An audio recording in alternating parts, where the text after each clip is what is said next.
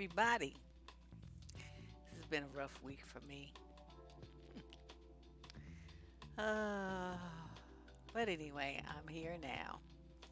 Uh, my, my energy seems a little low. I had to get a test yesterday, medical exam, and uh, they have to like sedate you. So I'm still kind of like, uh, I don't feel like myself. I don't know who I feel like, but it's not me.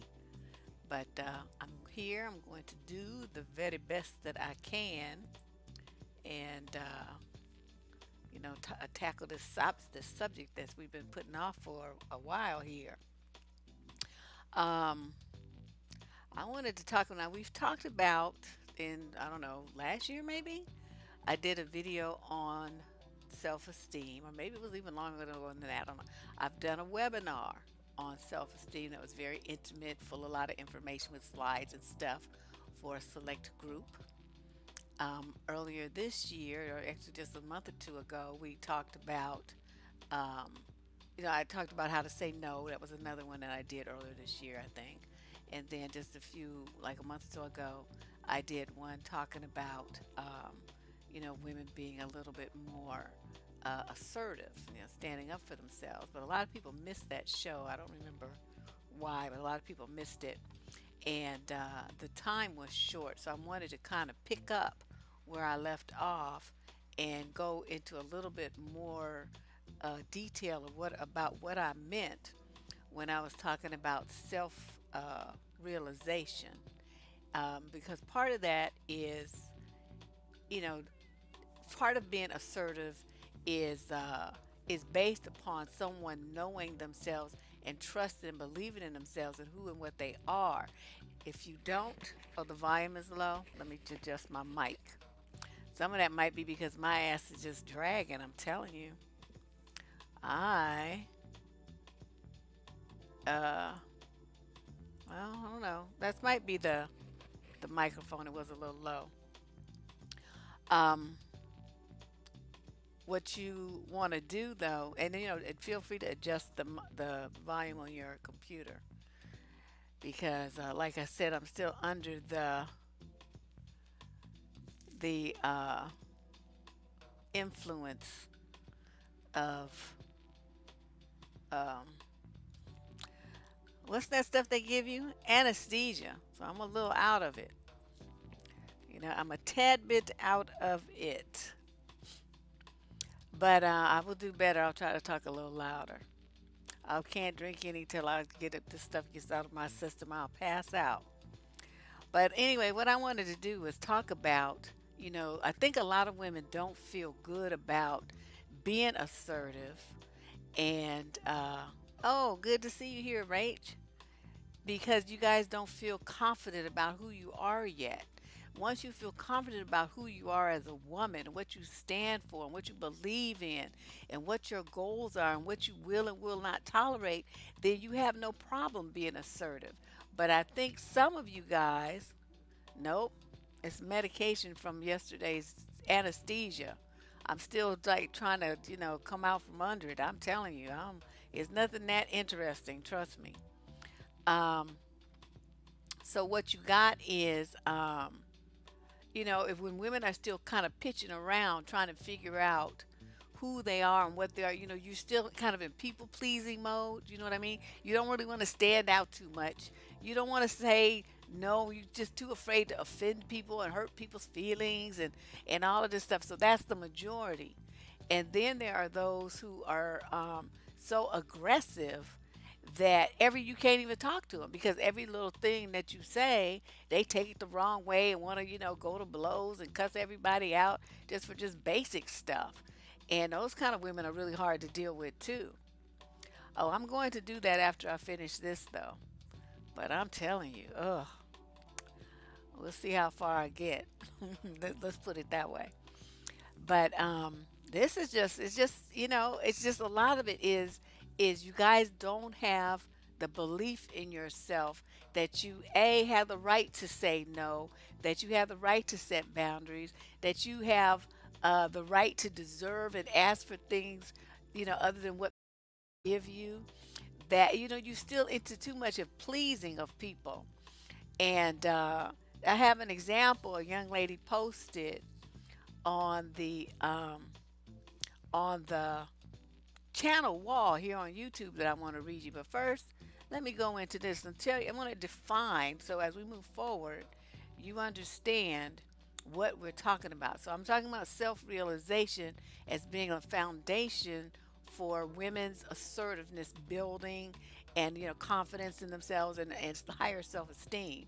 It's all based on self-realization. And what is that? It's the development fulfillment and actualization of your own potential or, or abilities so that means that you are working towards being your best self and you're not too worried about uh, I'm going to turn my light up here. You're not too worried about what other people think about you and how their perception of you and all of that kind of stuff. You treat others with respect, but you on about your grind and what's going to be the best way for you to live your life, and you do that with confidence in who and what you are. So that's going to be the foundation of our conversation today on self-realization. But let me read you something that this young lady uh, posted and I thought, wow, this is really interesting. I wanted to print this out. Oh, we got somebody all the way from Germany. Wonder what time it is over there. Wow. These time zones. We had somebody from France the other day, and uh, so now German and a lot of Canadians coming here. So it's just kind of interesting. It's got like an international crowd. So she posted this, and I want you guys to listen to this carefully because I'm going to make some comments about it in a few minutes. Notice how many things that she let this guy say to her. Okay, I just blocked a man that I knew for two months, and he was claiming that he loved me. Okay, that's point one. He loved her. Number two, he wanted things or he would find somebody else to do it. He wanted me to drop my 10 career 10 year career to move out of state as soon as possible after that same 2 months. He would say things like he knew I had more than one whole moment and that he never experienced this kind of thing with a light skinned woman. Okay, that's five. We're going to repeat. I laughed too hard with the men at my job and thought that if given the opportunity, I'd cheat. He wanted the same phone plan after two months. He hated when I laughed with male colleagues. He wanted to go to sleep on the phone every night. Okay, that's two hands full. Let's start again. He would go out and proceed to text me. He said he didn't trust me. He called me suspect over the littlest thing. If I fell asleep and he couldn't reach me, I was something with another man. He would say some crazy ish. Okay, so that's 5, 10, 14 things. Okay, this we continue. Today I communicated to him something that made my eyebrow raise. I had an impromptu meeting with someone at work and had to abruptly hang up. He then texted me to the effect that a guy asked if I had a minute and I had to hang up. Okay, we're on 15 now. It was not a guy and I did have a meeting. I then asked him if this was some more of his trust stuff. He said he to, he told me he meant to say another word instead of guy, and I told him I didn't believe him. I actually tried to understand. What followed was a 45 minute conversation about how I was annoying for continuing to ask questions when he already told me it was a mistake. Okay, now we're on 17. 17 violations. That was just today. I finally told him, you know what? Get the fuck off my phone. I'm sick of you. And I blocked him on everything. I'm not even sad or mad. I just feel free. I'm no angel, but shit just was not right. I had to get the hell on, and so I did. Okay, so she finally did do it. But I mean, okay, 17. It took 17, and plus she's probably left some stuff out. 17 violations for you to see that this man was a fool and crazy and that you he was violating every kind of boundary that you should have had in place as a woman who knows her value, her worth, and her position in her own life. See, he would have got one. I mean, just any one of those things with me would be like immediate termination. One thing you're not going to do is question me about anything. If I want you to know something, I will tell you. So you don't come asking me who is that on the phone and you know why I have to hang up. And I I do not like to talk on the phone. My friends will tell you that. I will talk for a little while and then I get I'm telling you I have ADD. I didn't know that's what I had, but I'll get to like doing other stuff and distracted and just you know I'm not really a good person on the phone. I'm not that good. I admit it and every one of my friends knows it. So this thing going to sleep on the phone every night, that would have been like, no, we're not going to do that ever, not one time. And uh, you know, questioning her and telling her that she was a sus, she was suspect. I mean, it's like he's got you guilty of of you know, so he he's putting you in a position where you got to do that jump through hoops thing that I talked about a couple years ago when I did that series. You got to jump through hoops to try to prove to him that you're not like the women who hurt him and that he can trust you. I'd be like, nigga, you know what? this is over. Bye. And just hang up. So she did, you know, she finally got got fed up. But see, this is the kind of thing that happens when you're not assertive. You just take it, you take it, you take it, you take it, and then finally you do the passive aggressive blow up, which is what she did because instead of saying, Look, you know, your behavior is inappropriate, I don't want you questioning me about these things. See, that's assertiveness. But just taking it, taking it, taking it, taking it, and then blowing up and then blocking them on everything, that's a passive aggressive response. You were passive all the way till the end, then you went aggressive on dude and blocked him on everything without even a word of explanation for why, you know, or what was going on with you. You never let him know. So that's what I don't want you to do. This, I mean, it's good that she got rid of him. Don't get me wrong. That part's good. But the way that this all went down was not the way that I want you guys to be handling yourself. And it was a perfect, excuse me, a perfect example. They just showed up like right on time. You know, so let's talk about, let me go back to my slides. Let's talk about what self realization is. Now, I know everyone here is familiar with this quote that's attributed to Nelson Mandela. It's also attributed to Marianne Williamson, so it's hard to know since I wasn't at either one of them's speech who actually said it. But most people say Nelson Mandela, so let's roll with that.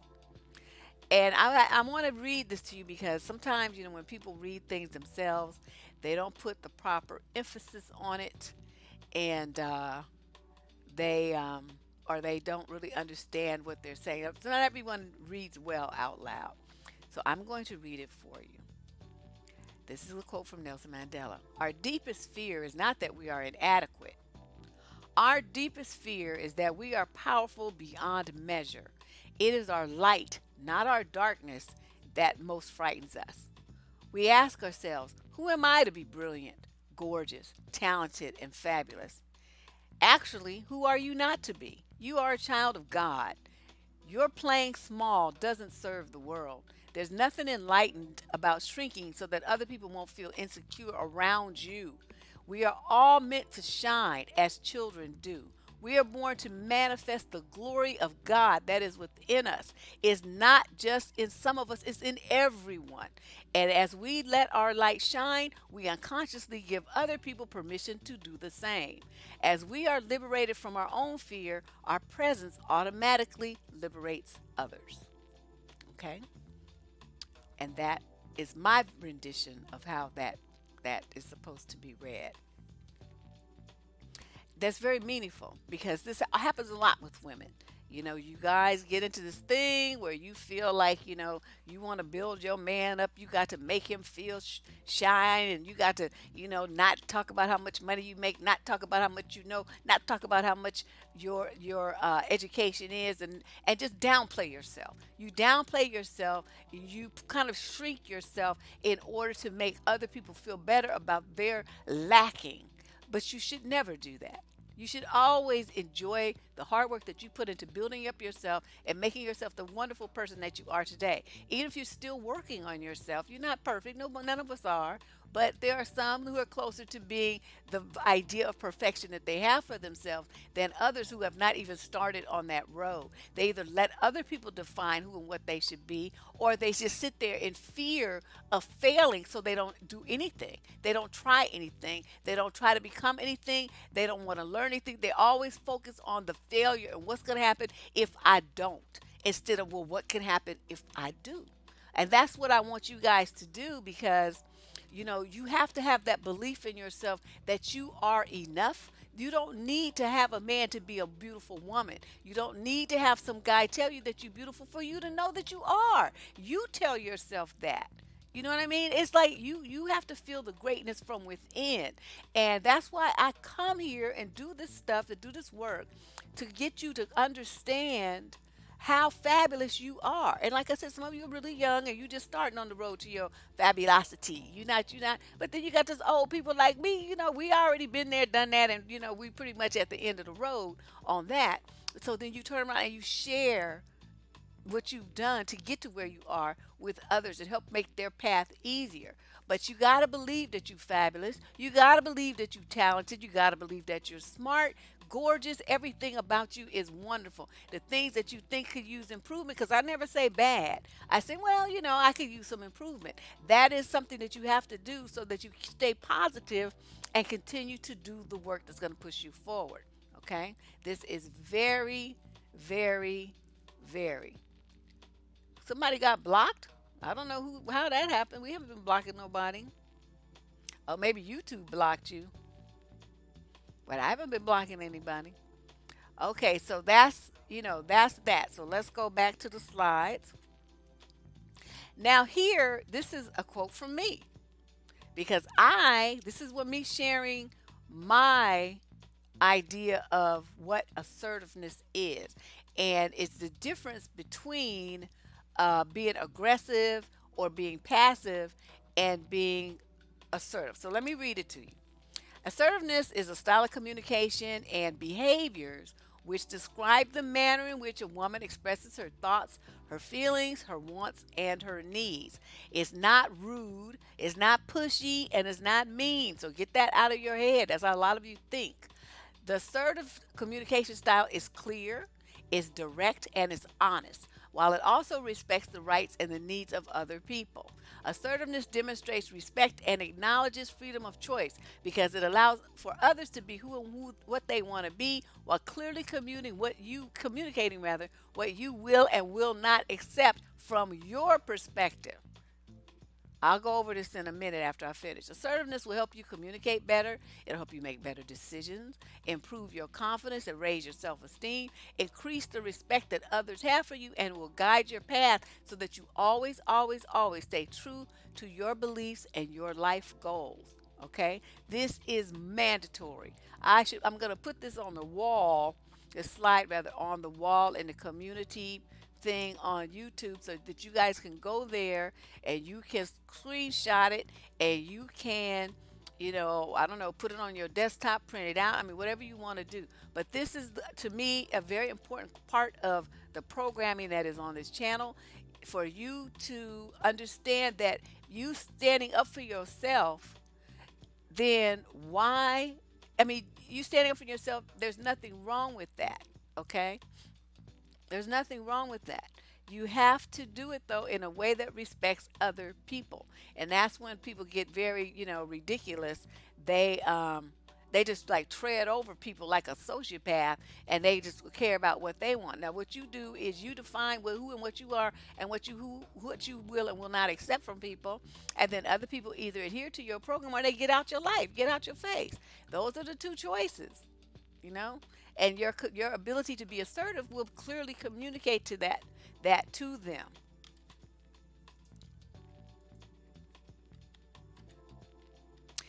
Here, I wanted to show you the the three types of communication that women tend to do.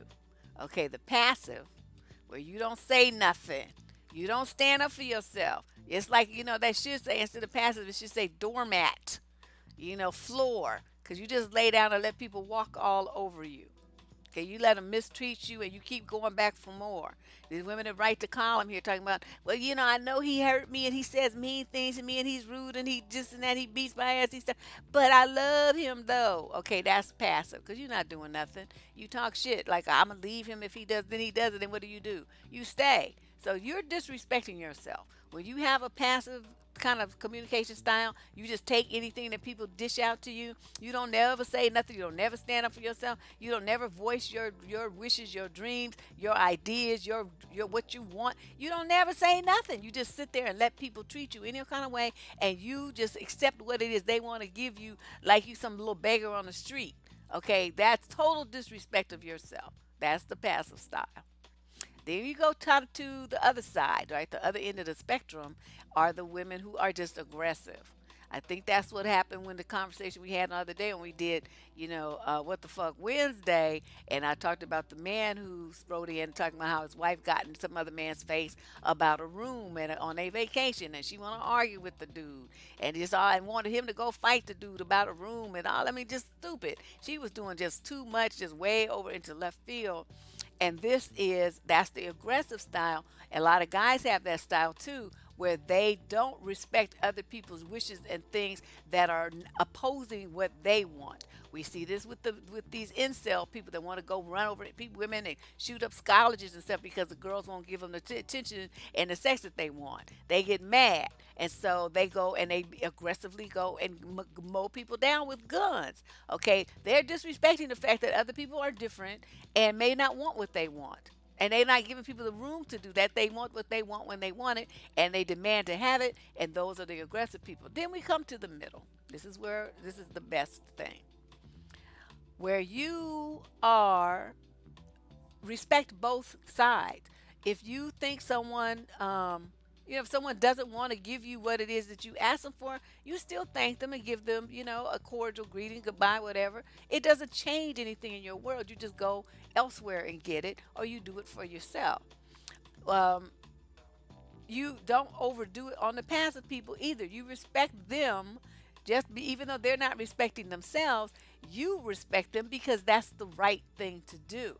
This is an issue I take that I have with guys who say, well, you know, she let me do it. She didn't let you do it, you chose to do it. And that's because the woman is passive and stuck in that, you know, I need to please my man shit. That doesn't mean that you mistreat her just because she doesn't. What you're supposed to do is help the sister understand what she's doing. Where does being passive aggressive go? Those are the people who volley between two ends. They not in the middle. They out one end, then they ping pong to the other end, then they ping pong back. They just, you know, they go back and forth. So they, um, and that's what this lady did with in the letter that I read. So let me go back to where I was. Here, here I is. So you know, I hope that explains to you what, um, you know, what I had in mind about. Uh, this, uh, you know, the assertiveness thing. And I think a lot of times people who aren't certain ones who like they have an interaction with somebody, right? And then later they go away, they don't really say too much, but then they're angry. So they go away later and they say, Oh, you know, I should have said, you know, blah, ah, ah, you know, I should have, I, you know, and so they, they beat themselves up. First, they beat themselves up because they didn't say anything, and then they beat themselves up again after it's all over because they think, then they think of all the things that they should have said, and so, you know, then they, they got like the double beating from themselves. So let's go over. I have another slide here with the things on it that I want to talk about today. This list here, we're going to go over this one by one. And we are going to talk about the things that women do who are not assertive. If you guys can think of some examples in your either in yourselves or some that you have observed, you know, feel free to put them in the chat. Um, you know, it's it it would be fine to do that. You know, just understand though that you know, standing up for yourself that's like your basic human right you know, you can't defend on depend on other people to defend you. Uh, you have to defend yourself because most people are the kind, not all, but most are the kind that are going to take advantage of a situation. You know, if you if you don't say nothing, they're going to take advantage of it. Doesn't mean they're going to necessarily do something that's going to you know physically hurt you, but it just means they may do a little bit more and not be as fair with the give and take um, as they should be. So let's talk about this list. Let me see. Now, I'm going to do this because I want to make sure I can see this list really well. Uh, oops, I lost my slide. Hold on a second. Okay, here we go. Women who are wishy-washy. No, women don't only want guys' money because most of the motherfuckers don't have none. So, I mean, what the fuck? You can't get get blood from a turnip. These dudes don't have no job and they don't have no money. So they ain't running no business and they just don't have shit. That's why they are hobosexuals. So let's stick to the topic. So let's talk about women who are not assertive. Okay, women who are not assertive tend to be wishy washy. What does that mean? That means you tell a dude, oh, um, you know, I, I refuse to stay with some man who cheats. Then you find out dude cheats. Where's your ass? Still with him. You say, oh, I would like some, you know, sauce for pepperoni pizza for dinner. Yeah, that's what I really want. Dude's like, well, I don't like pepperoni. I want sausage and mushroom. And you say, but I really like pepperoni. I don't really like sausage and mushroom. And then he says, but I hate sausage. I don't like pepperoni, so I want sausage and mushroom. And so then what do you do? You give in and you say, okay, well, let's just have sausage and mushroom. The most you should do is compromise, which is a C word that I really hate and say, well, then let's do this. Let's get a half and half. I want my half pepperoni, and your half can be sausage and mushroom. Okay. Now, what is that? That is what I just showed you on that slide. That's in the middle. It's assertive. It's saying, well, I'm not going to give up what I want so you could be happy. That's passive. Okay. And that's what a lot of women do. And y'all think that it's about, um, no, you on a date. You with your partner, okay? You know, this is somebody you're dating. Come on now. It's not always about getting your own. It's about working with the person. I'm trying to give you guys techniques for working with the. Okay, see, Jane, that's why your ass got blocked. I see now. Because you about to get blocked the same thing on Twitch. You keep it up. Watch your fucking language. Okay, I don't know what kind of people you used to ass, but you don't come here with that bullshit. Because I will boost your fucking ass up out of here. I don't like that kind of shit, and we don't bring that to my chats. You don't say shit about women. Little motherfucker. How do I get this shithole out of my chat? I need a moderator on Twitch. Hold the fuck on. Let me get over to Twitch and fuck boot this little fucker out. Little asshole. I can't stand people don't know how to fucking act when they come someplace. Hold on, you guys. I'll be right back. What is this little fucker's name?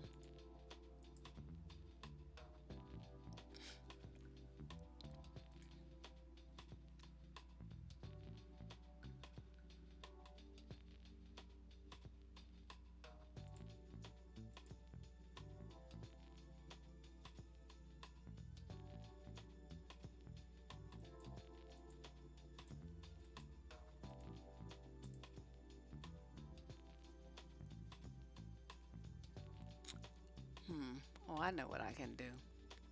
Is that who else is watching on Twitch? Probably nobody. So let me just do this.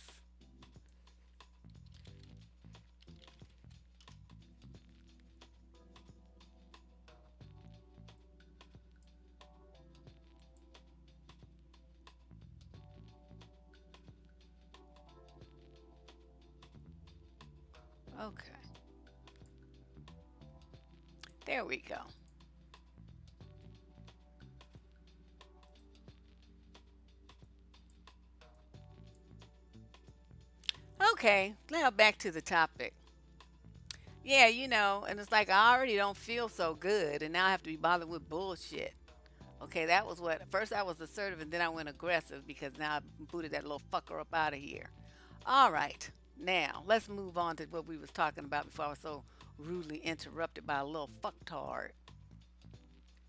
Oh, it's most it's a that place is full of full of little trolls because you know they're young, they're young and silly, and they don't have any home training, and that's what they do get their jollies because they don't know how to talk to women or anything, so they come around acting stupid. Yeah, he gone. I just switched. I closed Twitch out. So unfortunately, if anybody else is on Twitch, they just gonna have to come over here. Oh well. All right, because I'm, I'm just don't feel like it today. I'm I just I don't feel good. Like I said, I don't feel that great, and I'm trying to do this. Um, okay, so that was my example of wishy-washy. Now, the assertive woman stood up for herself and said, "Well, I'm not going to eat that." and you don't want to eat this, and that's fine. I'm respecting your choice. See, remember what I said about respect? But what we're going to do then, because I'm not going to eat that, and you don't want to eat that, so what we're going to do, we're going to get half and half. And he might say, well, that costs an extra dollar. Fly his ass a dollar, and then never go out with him again. That's what I say about that. All right, now timid. What are timid women?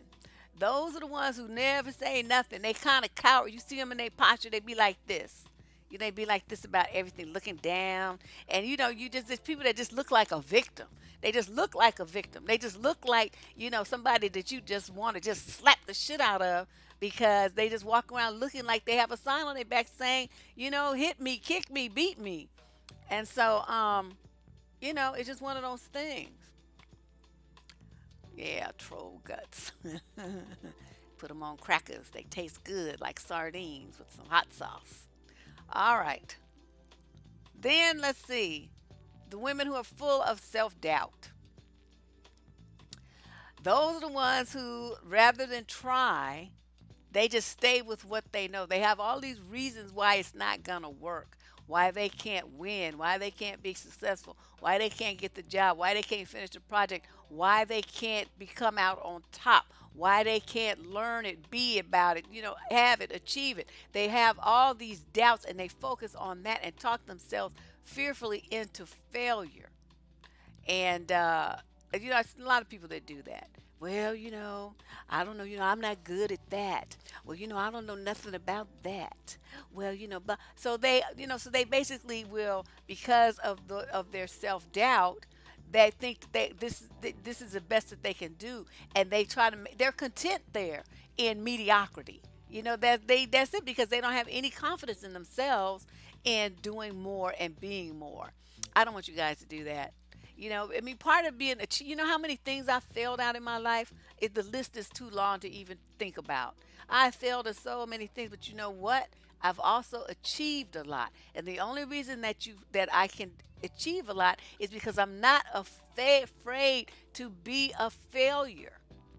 Oh, okay, Van. I'll set that up. Oh, that's right. You are over there. I forgot. I forgot. I forgot. You did tell me that.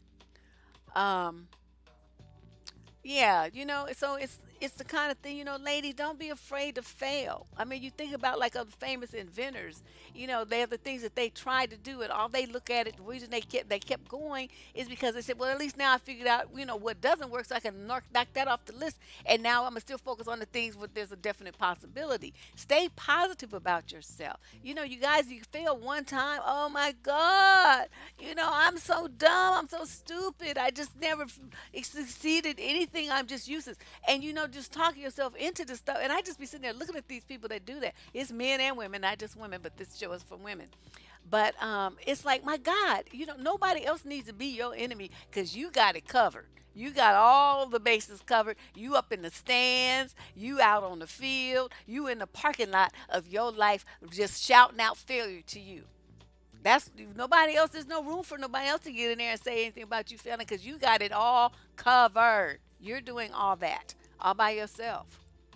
So, you know, those women like that, you know, you know, stop that. Stop that talking to yourself like that. And instead say, well, you know, maybe that's what I said, like about this stuff I set up here. I was fucking shit up right and left, and you guys was witnesses to it. I'm like, oh shit, I don't know what happened. I'm trying to figure it out, and everybody's laughing. You know, everybody was very supportive, and you know, I finally got it right. So now, you know, everything rolls around the way it's supposed to.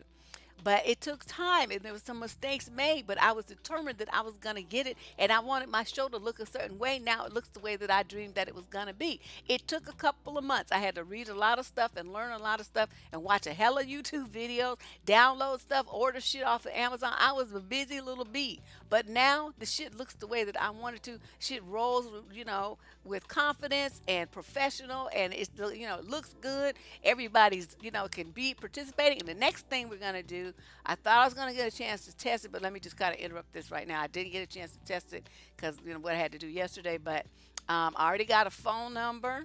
I figured out how to do it. I just have to test it to make sure it works and know I make sure I know how to do it so we can take talk calls on the show. My concern is the troll factor.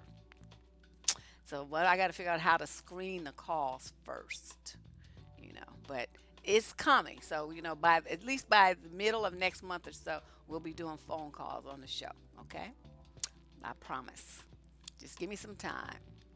Okay, now afraid to set boundaries. This is a big one with women. This is part of assertiveness. Why? Because when you don't have any any you're not being assertive about what you people the way people can and cannot treat you, talk to you, address you, um, you know, you you just have rules for how they can interact with you, then they gonna do what they want to do. They gonna treat you the way they treated other people who didn't have any boundaries. It's up to you to say, "Oh, hold up, partner, hold it, hold your ponies right there." I don't know where you've been. I don't know what kind of women you've been dealing with. But in this place here, this woman here, we don't do that.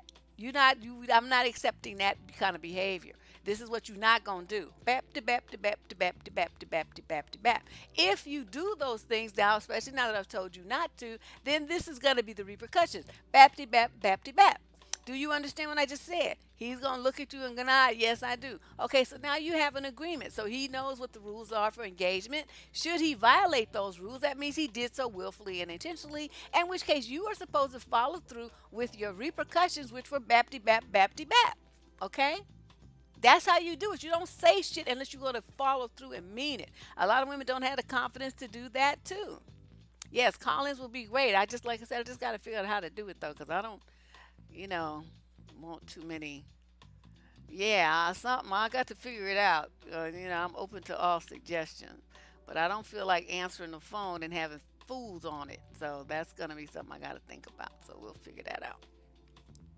Okay, so you know, you be don't be afraid to set your boundaries. You don't want somebody calling you after a certain time of night. You know, you can ha- you have the right to turn your ringer off. You have the right to set your phone to do not disturb hours. That's what I have on mine. So, because I can't remember to always turn it off. So, there's a program, you know, little thing, you set it. So, at 10 o'clock, my phone shuts down. I can use it. I can watch my movies in bed. I can do all this stuff. I can answer emails and you know surf on it. Now I can do whatever I want to on my phone in the bed. But that phone will not ring, and no text messages will come through until 7 a.m. the next day. And that's how I have my phone set. So I have I blocked off private time for me and you know me and whoever I'm dealing with that that week because you know I'd be rolling them in and out and then it's like you know that's my time for my dates and my dinner or you know going to whatever we're gonna do. And then or just you know do my work here my stuff here. I want private time to do that and i don't want people calling me and interrupting me and asking me no question so that's what we do. All right? And you have the right to do that. Women are terrified of saying no. No is a very strong boundary. A lot of women live in horror of saying no because they want to be liked you care more about people liking you than you do about liking yourself and standing up for yourself. So you give in to people, you run around, you do too much, you accept too much responsibility. You don't even want to say no to your boss. You know, you don't want to do that. I had an interesting exchange with a boss of mine. He wanted this woman in another department wanted me to do some something for her. She was like trying to like take over my life. Now I don't mind helping out. You know what I mean? They call that team player which I really hate that concept because I'm not a team player, I'm a loner. But you know, when you go into that kind of environment, you got to pretend like you are. So I'm like, okay, you know, I'll roll with it and I'll do it. And um, she wanted too much of my time. I was going to give her like, you know, certain, certain number of hours, and she wanted like double, triple that from me. And I said, no, I'm not going to do that. So then she went crying to my boss. And so he calls me in there and he's like, oh, you know, uh, she wants this and that. I said, yeah, I know, but that's, that's not necessary. I already set out, you know, a plan. This is how I'm going to approach the problem. It'll all be done in five hours, and you know, there's no need for any more time to be devoted to that. So I give him my, you know, my outline of what I'm gonna do and how I'm gonna do it and what the topics are and the whole thing. I was prepared. So he looks at, it, he says, "Oh, okay, well, you know, something, something, but you know, but you know, she she um you know she really thinks that she's said I know but I'm telling you that that's that's not true. And so then he's like well you um you know but I could you know just tell you to do it. Okay see now that pissed me off. It's like look here white boy. You not Deb already told you that I'm not doing it. Okay, now these people didn't really know me that well, but it's like when I say no, that's what I mean. Hell can freeze over. All little devils go ice skating. The devil will be sealed in one of them blocks like Han Solo forever. I mean, I really know all that will happen, and my answer's still gonna be no. So I just looked at him. I said, "Well, you could do that. You certainly you have the right to do that. See, that's his right, right?" I said, "But I have an equal right to get up, grab my purse, and walk out that door. And guess what? Then you won't have me, and you still won't have she won't have all those hours. So you have to decide which one is more important. Having me here or giving her what she wants at my expense. So you that's the call you have to make. And I was calm as shit. That's see that's what happens when you have confidence in yourself. I told you no. I told her white ass no. I'm telling your white ass no. And no ain't gonna change just because you try to flex. Cause I have the ultimate flex power. I can get the fuck up out of here and you didn't neither one of you gonna get shit out of me. So you decide, white boy, which one you want. Which one's more important to you? And he sat there and he looked at me. And he looked at me and then he blinked a couple of times while he processed what I had just said to him. And I'm staring dead in his face, just as calm as a cucumber. Because you know me, I keep shit lined up. You know what I mean? And I'm just looking at him. And so then he looked away and, you know, he kind of did like this. And he says, Well, you know, um, I don't really know anything about it. And so, you know, you're the expert. So, you know, I'll let the two of you work that out. You know, thanks for coming and let, you know, briefing me on it. And he sent me out of his office and, and let her deal with my ass. And then I went and told her no. And then that's how that went down. I gave her what I was going to give her, and he stepped smoothly away from the situation, which was the smartest thing for him to do. Don't you get in between two women. That's you. No man should ever do that. I don't care what the situation is. You let them handle it, or you get another woman in there to handle it, but you don't step in. Yes, honey. This we put. What do we say? Niet, nada, none, all that, all kinds of no's. But you know, don't ever be afraid to say no. A lot of you are. Some people are afraid. They'll say, "Well, you know, I'll get fired." Guess what? So what? You know, they'll have it like you, you watch you if you got sick or died or something, they would have another body in that chair before your body even made it out the morgue. Okay, before you made it to the hospital, they would have somebody else sitting in that in that chair. Don't ever think that you should be loyal to a company. Okay, unless your name is on the letterhead and I mean on the built thing outside the sign and you know on the business license and shit, because that's your shit. Other than that, you know, fuck them. You worry about yourself a lot of women are doormats in their relationships. Whatever the man wants, they say okay. Like we had situations where the women, the man wants to move in with the woman. and she want, you know, he wants to move in, he wants to move in with her, his mother, wait, his ex girlfriend's mama, and she went along with it. That was a letter on What the Fuck Wednesday. I swear, you can go back and listen to it. That whole show was full of women who had no boundaries and were the least assertive people I've ever heard of in my life. All she had to do was tell dude, hell no, I'm not moving over there with your ex's mama. What's wrong with you? You want to go over there? Go feel free. I'll just do something else you know but you don't you don't just go along with everything just because a guy suggested it. That's how you get stuck in situations where you in a threesome and you crying and shit because your man you know you trying to please him and all that stuff.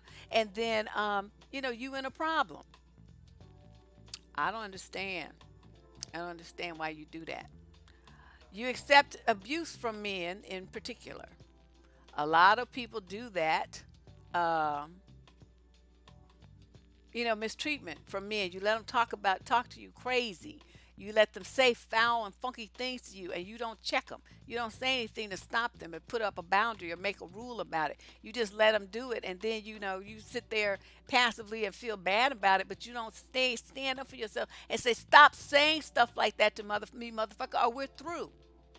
And then if he does it again, then you leave him. You know, everybody should get one chance, you know, unless it's like super egregious. Like, okay, you get one chance to put your hands on me, twist my arm, try to choke me or. Okay, that's that's a one-time deal. We don't get a repeat performance of that, and there's no comeback from that. But you know, sometimes people might say something like inadvertent, like, "Well, damn, you know, you're so stupid," something like that. Okay, this is this you're gonna get a warning you know, but you call me next thing like a bitch or something like you, but something like that, that's a one time shot too.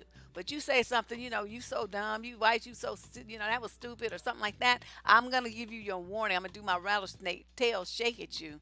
And then you do some shit like that again, I'm going to strike and bite. And then it's going to be over.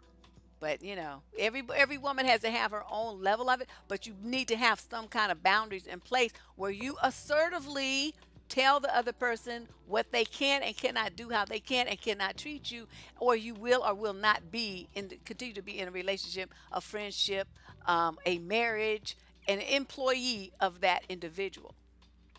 All right. Um, you're afraid of asking for what you want. This is real bad in bed because how many women complain about the man can't fuck, right? He don't know what he's doing. It, you know, it's not good for me. I don't enjoy it. You know, it's, it's I have to always got go in the bathroom after with my toy. I do all the stuff you all be saying. Why can't you just tell him what to do or how it's not working and you lie and say, you know, pretend that it's you know, like it was some kind of magical experience. So you got the head dude's head all blown up with some lies. Why can't you tell him? No, you know, some of the things that are going on here are really not, you know, they're just, uh, this not doing anything for me. I'm sure it must have worked with some women in your past, but you know, every woman's body is different. Every woman's interest is different. Every woman's response is different, and so we need to sit down. You know, we need to go through some things here and figure out what's going to work for me, so that when we're together, it's satisfying for both of us. Because right now, you're the only one that's having a good time, and I'm not really you know, participating in the good time, there's no point of me doing this particular activity with you. So, you know, you have to figure out, you know, your words to say it. Don't be aggressive and mean. Nigga, you can't fuck for shit. Okay, you don't need to do all that unless you through with them and you don't want to see them anymore. But if it's somebody that you, you know, do want to have a relationship with, you have to present it in a way that's going to be something that's going to mean you two join together and work together to do it. You know, to come to uh, an improved situation. All right. Um, oh, you focus on what you think other people want. You focus about what other people think about you. So you don't really do what you want to do because you're too afraid of what somebody else might think or what somebody else might say. You don't want to look bad in front of somebody else. All this kind of stuff. Why do you care about what other people think or do? That has always been so interesting to me. Have people, yeah, I already said non earlier. Niet. And I just, I used to know how to say it in Russian. I had a boyfriend who spoke fluent Russian, but I forgot.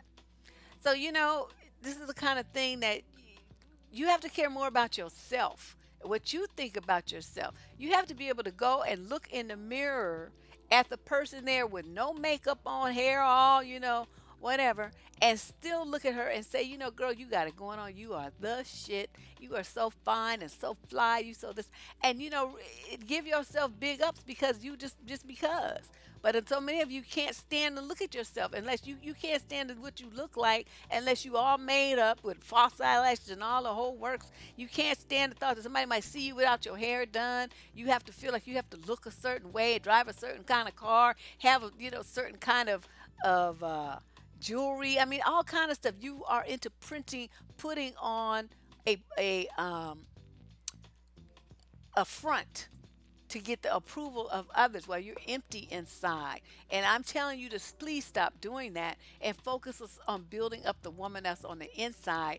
Real do some self-realization work. Okay.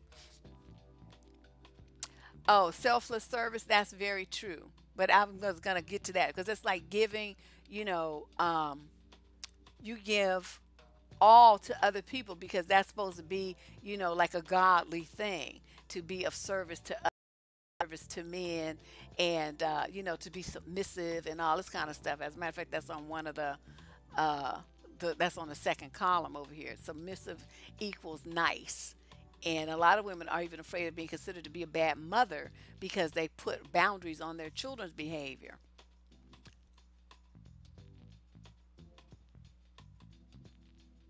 Oh, they talk about they cut off a friend but will stay with a man because that's their mentality. Is that men are more important than women? That's that's common. They that's what the same types of women that be like, well, you know, at least I got a man. They sit up there with a big old black eye and a lip the size of the moon, and then but they, you know, at least I got a man. You know, so they feel like even though he's beating their ass and disrespecting them, cheating on them, bringing them STDs and all kind of stuff, that he's still better than having no man at all. You know, that's really kind of sad, but that's what happens. Um, let me skip a few of these. Let me see. Oh, oh, apologize all the time. Oh my God. I know you guys have seen women like that. Everything you say, oh, I'm sorry. Oh, I'm sorry. I'm so sorry. Oh, I'm so sorry. Everything they supposed to be so sorry about every damn thing. It's like, why are you sorry all the time? I mean, nobody's asking you for apology. I mean, surely some of the stuff you did on purpose. So why are you apologizing? You know, everything is an apology. And that gets on my nerves. It's like I just want you to stop talking. Don't say nothing. Don't apologize. Don't really say anything. Um, let me see. Let me skip a few of these. Let me put it back over here so you guys can see it while I'm looking at it too. Um, fear of conflict. Oh, that's a lot of them. You fear to make your man mad. You fear to, to stand up for yourself because you think somebody's going to get upset or angry and start yelling at you. Um, you know, there are times when that may be realistic, but there are most times when uh, you know, you need to stand up for yourself. Like say on the job, somebody, you know, you're doing something and somebody you've got a big copy job going, right? And you walk away and you come back, somebody to stop your job and set your papers all to the side so they can use the copy machine. Okay, well, what do you do? You say, hey, but you know, the, the deal is you take turns. You need to get your stuff out of there so I can finish my copy job.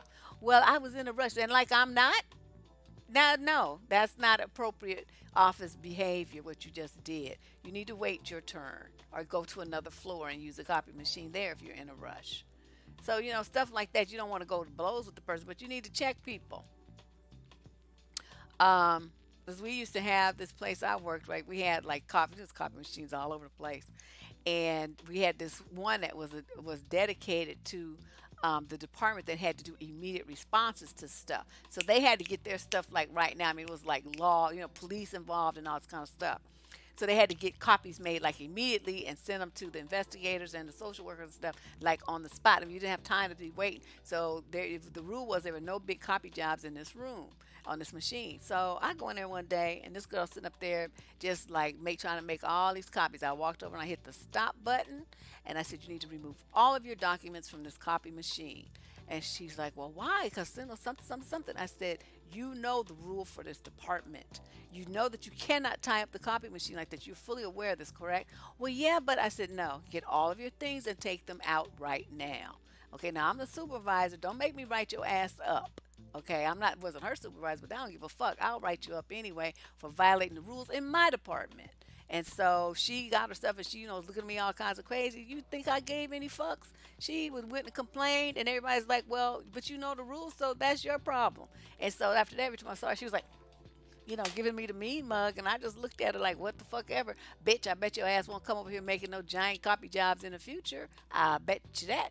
So, you know, it's just things like that. You know, you can't just let people do what they want to do and it's stuff that involves you that's going to impact you or that's going to impede your progress, your success, you have to get them out of the way.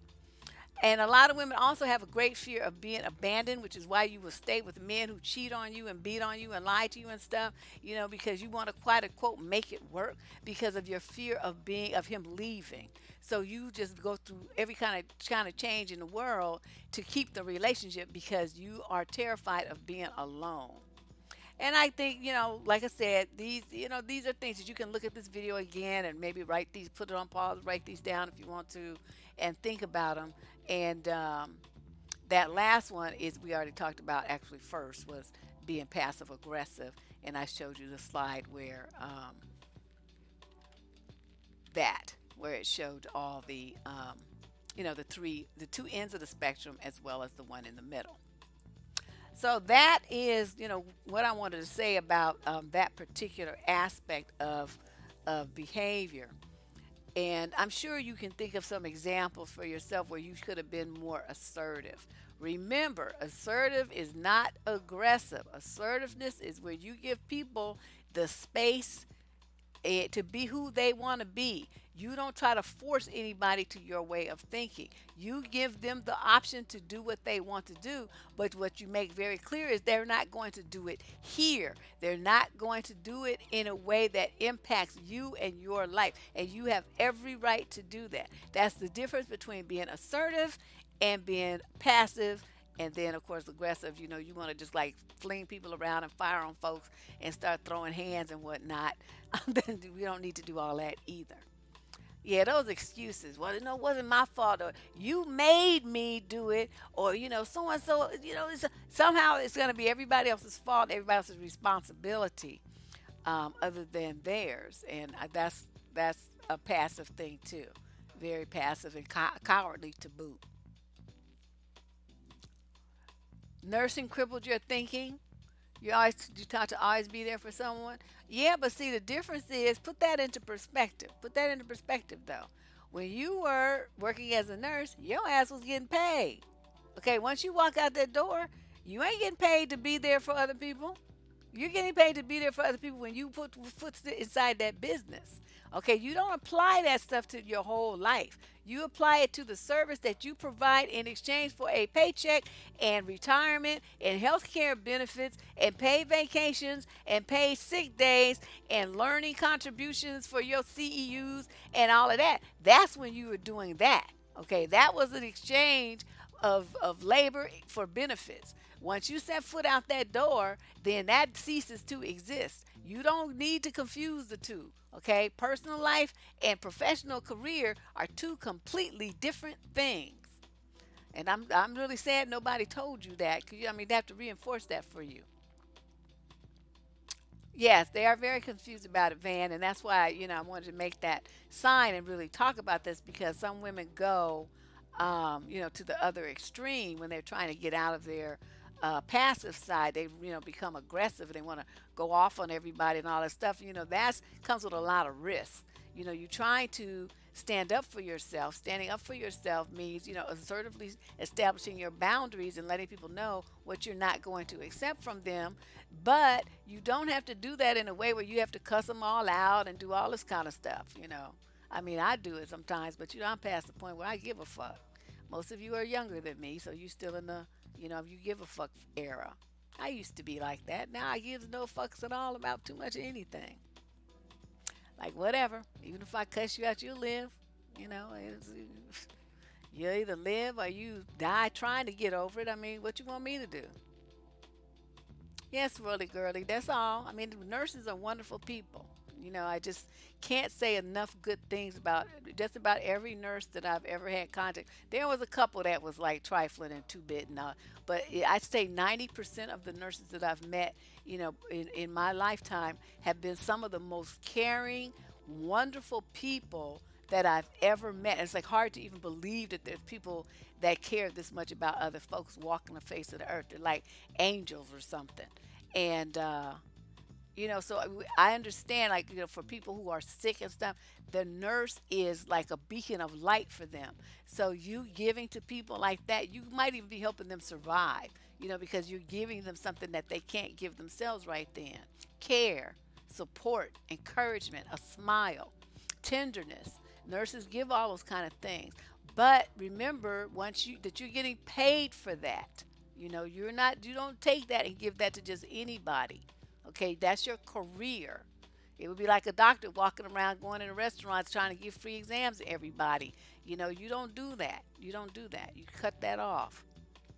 She said I had to break off my supervisor. Evil woman had the nerve to raise her voice at me because I wasn't doing someone else's job the way she wanted. Fuck it, bitch. You want it done a certain way, you do it your damn self. That's always a solution. I'm not doing it the way you want it done. Let me get up out the seat. Have have at it. There you go. You know how to do it so well. Let me see you make that happen. Yeah. So mine is the inside of my ass, but we're on the same page. the pain is real. Yes, it is. It is. But you know, sometimes these people, I don't know, they get on these jobs and they start thinking because they had a title of supervisor that they become bulletproof or something. But you know, people get mad. You better watch how you handle yourself. That's why I say you don't need, don't ever be aggressive on the job. You be assertive, but you always leave room for the other person to say no and to you know give their other opinion or whatever. You don't be trying to bring your hood shit up into the job. That does not work. That should get you fired and or killed. Because some people you know will leave or you act stupid with them they'll go away and come back the next day with a gun. So you better be you know you gotta watch your mouth so this is good training for those of you who tend to be a little bit too aggressive in your interactions with people. You know, you can't treat everybody like that. And somebody might be just that much more of a gangster than you just because they're in there with a suit or a little dress on and stuff and got their hair done and some makeup on. That don't mean shit. You know, she could have been in a gang when she was a teenager. Come up there, roll up there with her girls that she's still friends with, and stomp your ass into the pavement. You better watch your mouth. But that's why you know these are good skills to have when you go into a work environment to know how to stand up for yourself, but to do it in a way that is respectful of other people who are not you. Everybody's not going to see it the way that you do. You know, people are crazy. Some folks just not wrapped too tight. Just because they went to school and they got their little piece of paper, now they in the corporate America. They, you know, home is still home. Once they hit that door, they be like, "Yo, and then all that could come out. So you know, you better just just just watch yourself. For real though. You know, Shanika and Letitia will come up there and stomp your ass with grease all over their face and stuff. So you know. Yeah, it's co-work. I mean, working in, you know, you could write a whole book about working and people, all the different personalities that come up there and just act a fool. It's just too much. It's just that's why you know these these tools that I'm trying to give you guys work as well in a corporate, you know, in a work environment as they do in a in a uh, romantic relationship that works well with your parents and children. It, I mean, as you know, you're the parent, it works with your children, and it works for you to dealing with your parents as well as your siblings. I mean, just anywhere, anywhere where you have to interact with other people that might be trying to get you to do something that you don't want to do. This is very, very important for teenage girls because they're going to be put into a position where they're going to be starting to deal with boys, right? And the boys are going to be after that one thing.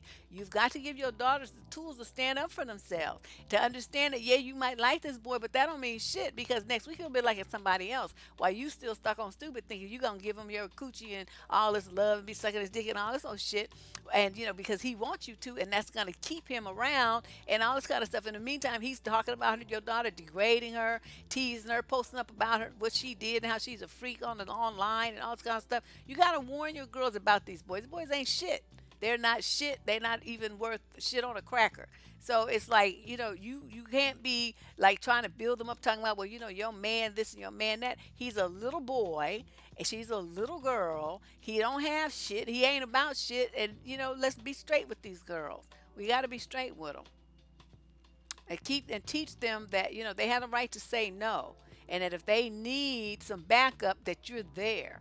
You know, you, they uncles, you know, whoever, this, they not you're not gonna let them slip through the cracks. You're not gonna let nobody do nothing to them. You're gonna come out. The family's gonna rally around and beat some ass. You only you have 15 funks left, girl. I only I'm down to my last one. It's in a safe deposit box in case I need it one day. But thus far, it's been safe.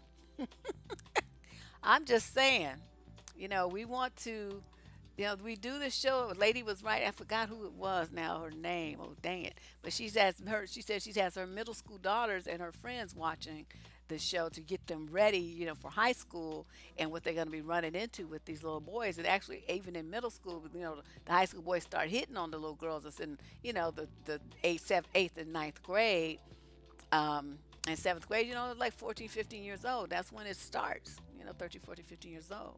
That's when it starts. So you gotta you know give them the tools early. A lot of people like well you know this, they don't need to be talking about this kind of stuff so young. Yes they do. The older dudes start trying to trail your daughters down the street at 12 so you got to give them some tools. Don't be trying to keep them in you know in the va- in the dark in a vacuum. They need to know what's happening in a realistic way and how to set boundaries with these people to feel confident enough to say no and to you know to scream and to push and to run and to tell somebody everything that happens to them so that you can be there to help them and protect them if you they you know if they need it. I'm telling you, but this you know they can't be passive They're like, you know, they want people to like them. They're at that age, they're very susceptible to peer pressure and to doing whatever guys want them to do because they want the guy to like them. They want to have a boyfriend. They have, you know, this is in their mind. So you guys, you know, don't think like an adult. Think like a 14 year old when you're talking to your 13 and 14 and 15 year olds. Think like a little kid. And then, you know, what's what's important to them. Put yourself at their level you know, and then you can see things from their perspective, and then you can talk to them about the things that are going to be facing that they're going to be facing, and tell them, you know, how to handle it from their perspective. That's very important. Very, very important. Uh oh.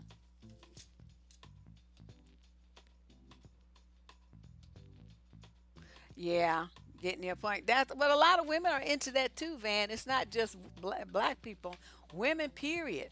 Because women you know what do they always say in advice letters? How do i make him understand? Isn't that a common theme throughout the letters? Every woman says that. How do i make him understand? They're about getting their point across. Even when a guy cheats on them and stuff, and they're like, well, you know, I want to talk to him. I want him to admit it. What is that? That is about getting him, to, you know, to understand their perspective.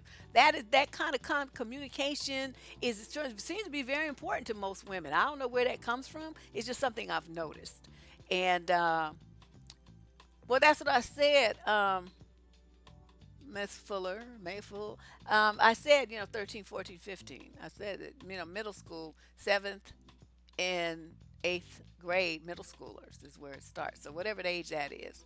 I thought that was like 13, 14. Um, did you see a video of a little girl talking about she likes boys and wants a little boyfriend? No. How old was she? I must have missed that one, but I don't know. In certain cultures, I mean, they start pushing that stuff, you know, pretty early. You know, like I know the Koreans, you know, it's a very uh, couples oriented culture. And uh, they, you know, make those kind of jokes and they start preparing the little boys to be protectors and husbands and fathers and stuff, shit, starting at four and five years old. They start telling him about how he's going to protect the girl and how to do it and, you know, how he's a, gentleman and he's a G and he's all this kind of stuff. It starts early. And know, like I said, I you know, told the story about how I used to live across the, the hall, uh, this uh, condo across the parking lot from a family, and that father was working with his little boy um, from the time I lived there for 12 years. And uh, so when we first moved there, that little boy was like three and uh, the father would take him and always was talking to him about you know how to treat mother and his sisters and buy take him to buy mommy flowers day you know and uh, mother's day card flowers and stuff and birthday presents he was always talking to him about how you treat women and things that you do nice for women. So by the time you know we moved a little kid is like 14 or 15 or something and then um, you know he was getting his little girlfriends and he treated them all very well because his father taught him how to do that and that's that's what's missing, I think, in a lot of black boys. They don't get that kind of mentorship from their father or anything else. They get told that you know girls ain't shit and bitches and hoes and you know use them and this and that. And so the messages, you know, versus that what I heard and observed versus what most black boys get, complete opposite completely different. It was just something to see. And I witnessed that with my own eyes over a period of years. How I'm telling you, how the man raised his son. And when he was out there fixing stuff, and he had his little boy right with him, teaching him what tools were then. And then when the kid got older, he could see into the car. You know, he would let him do the wrench and all this stuff. I mean, he spent a lot of time with his sons teaching him things and you know working inside the house he even brought him over to my house i had a, some problem with my toilet and so, you know, he was out there, he was working. I said, can you take a look at this real quick? And he did. He tinkered with it and fixed it and stuff. And the little boy was watching. He was explaining it to him and everything. And I'm like, see, that's that's how you're supposed to do when you're a father. You take your responsibility of raising your son seriously. And I, you know, like I said, I witnessed that firsthand. So the kid was nothing but a toddler, you know, when we moved there. And so um, I saw him grow up, and I saw how his father you know, what things his father emphasized with him to develop him into a fine young man. And it was something to see. And then you compare that to, you know, what's going on in the black community. I was like, oh man, these kids are just light years away from this. Yeah, the father has to stay around to do that. That's true. But you know, sometimes, now sometimes, this is when we get back to the women now, This is why the next show I'm doing, which is tomorrow, we're going to be talking about vetting men. We're to be talking about vetting. That's on this show tomorrow. Since I missed so many days, I was kind of, you know, the voting thing, and then I didn't feel well. So, yeah, it just was a bunch of shit that went happen to this this week. Just got shot. So, but tomorrow, that's what I want to talk about, you know, because when we talk about this, you know, fathers have to stay around. Yes, they do. But sometimes y'all be dealing with some men and having raw sex and having babies by motherfuckers that should not have even had the time of day from you. And I be looking like, what were you thinking? And these women that have, you know, the man already got four, five, ten kids, and he ain't been with none of them women, and then you gonna be baby mama number six, seven, eight, you know, eleven, teen. Why do why? Why? Why?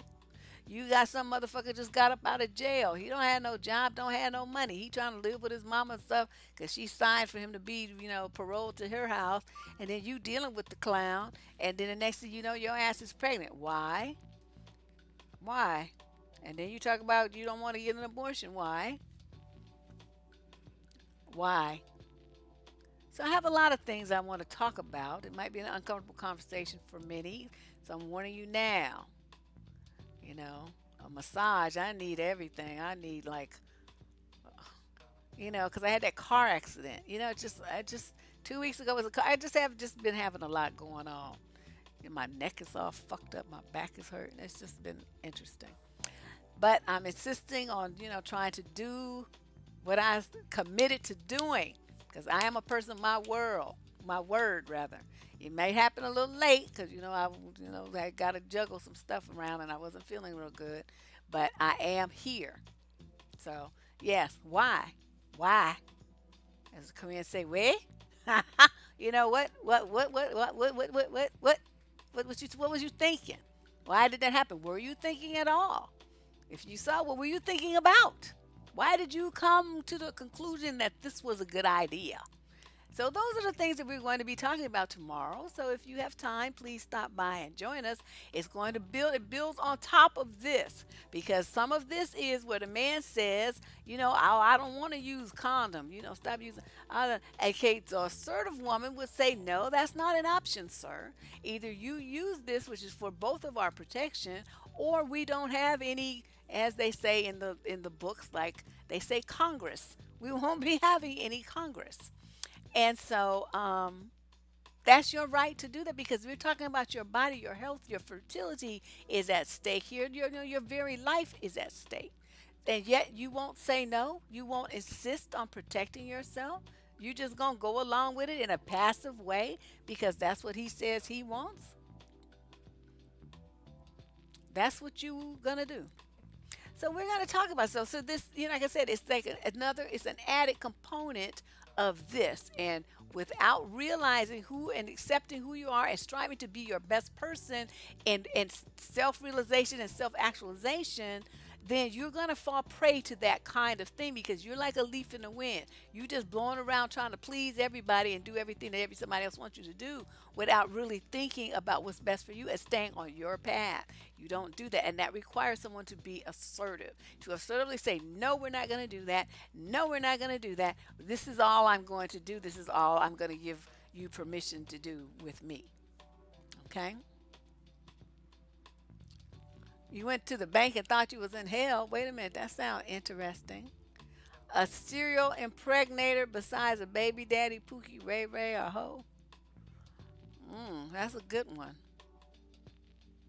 I don't know that. We could think up one though. I just call them pro prolific baby breeders, but that's too long. We need like a little, a jaunty little name. I know what you mean. I don't know that answer to that, Van. I don't know, cause then you know you be getting shit all in your mouth. You got them canker sores and stuff off. Your face is all fucked up. Got genital warts all in your mouth and shit, cause you know them warm, moist places is the same thing. I'm not trying to be. I don't know. I don't know what they be thinking. I'm too. I'm telling you, I'm too vain. I just can't be looking like that.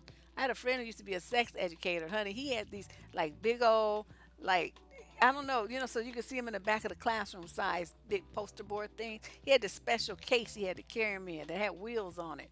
And he would put them things up in the school, for, you know, when he did his little his speeches. And oh my God, I saw those pictures and I was grossed out. Yes, the fires, the air.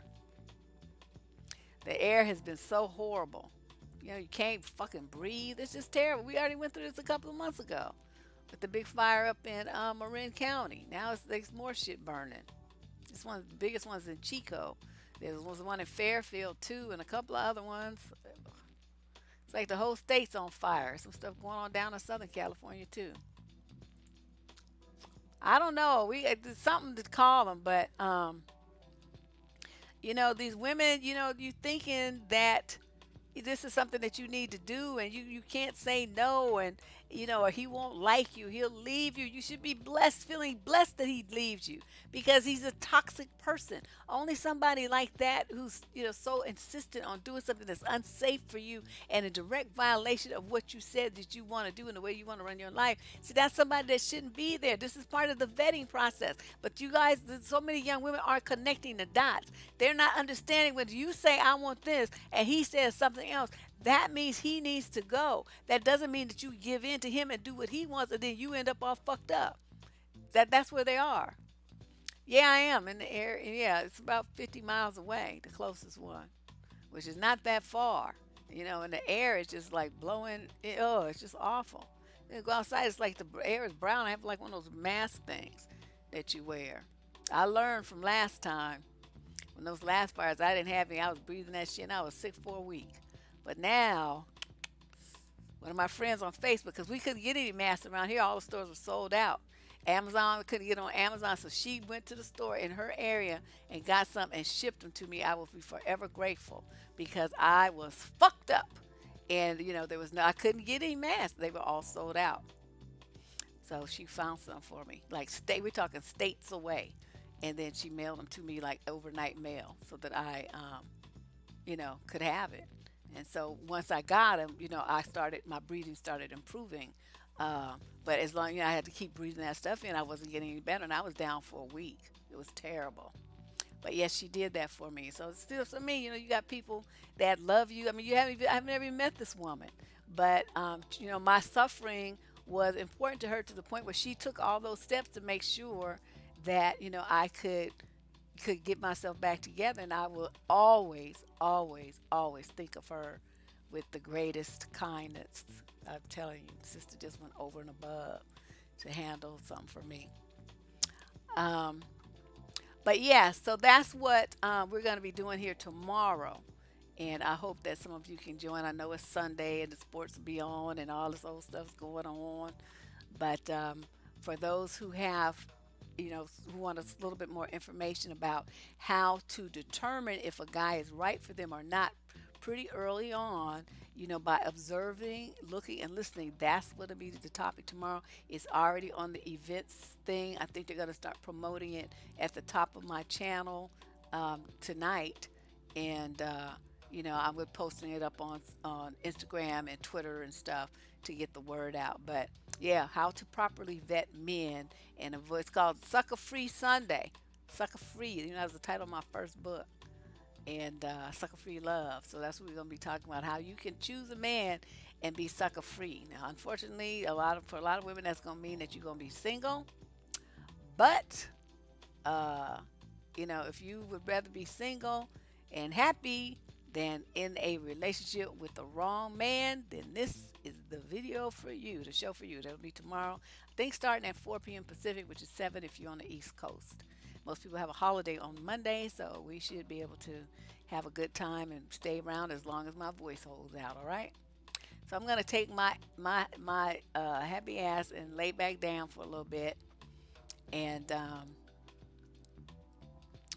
um, abusive stuff well, I talked about that moving out and stuff in a couple of videos um, already, Sydney. Um,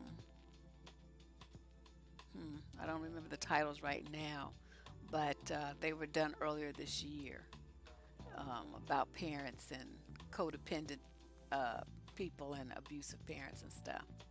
If I find it, if you're gonna put a chat, uh, I'll put it in the bottom of the um, in the show description of this page, and I'll try to remember to tag you. But just look for it there. Not today. I'm I'm I'm gonna do it tomorrow, right? Because I'm starting to fade. But I hope that was some good information for you guys. You know, thank you for coming and uh, sitting in on this chat. Um, we're gonna you know, get my butt up out of here and be back tomorrow. Hopefully, back to you know 100% tomorrow. Yes, it is sucker. S U C K A, Ricky. We don't put ER on our words. We hood around here. Anyway, I'll talk to you guys. I'll talk to you guys tomorrow. Bye bye.